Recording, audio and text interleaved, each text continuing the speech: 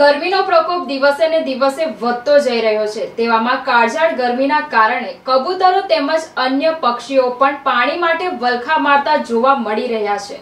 તેવામાં કેટલાક કબૂતરોના મોત થયા છે.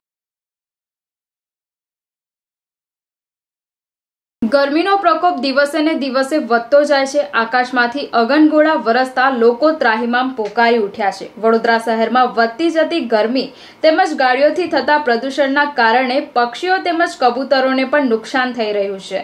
કબૂતર તેમજ બીજા પક્ષીઓ પાણી માટે વલખા મારતા જોવા મળ્યા છે.